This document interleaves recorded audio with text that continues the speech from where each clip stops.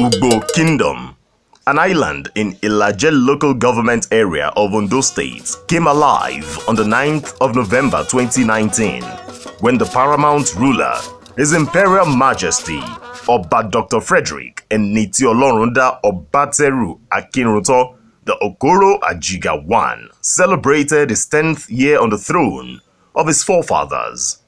The circumstances surrounding his enthronement was uh, supernatural. It was a kind of a twist of a history in the kingdom of Ugbo land.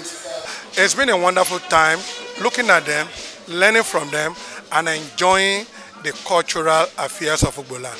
It was a roll call of royal fathers home and abroad, captains of industries, political bigwigs, and so many other people. As a father, uh, we're being brought up very well to be patient, and as a king, he has stepped into that throne and he has not changed. I've learned to be hardworking, to be determined, to be a dogged fighter. So, by and large, uh, I want to appreciate God for his life. To mark the 10th year coronation anniversary, the monarch laid the foundation of a building for mother to child projects. Various cultural groups performed to show the rich cultural heritage of the Ugbo people. The monarch, whose 10 years on the throne has brought peace and development to his community, encouraged the youth to take Western education seriously to enable them contribute to the development of the kingdom.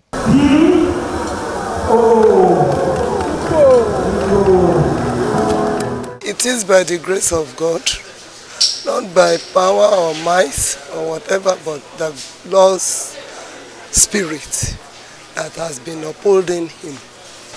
And for what I saw today with the crowd, I feel great, overwhelmed, happy, enjoying myself here. You could see the way I'm enjoying myself. I'm bubbly now. And I want to thank everybody, particularly the monarch. Even if I don't eat for even one month, no, no problem. to add more spice to the celebration, Juju Maestro, King Sonny Ade, and Chief Commander Ebenezer Obey entertained the guests.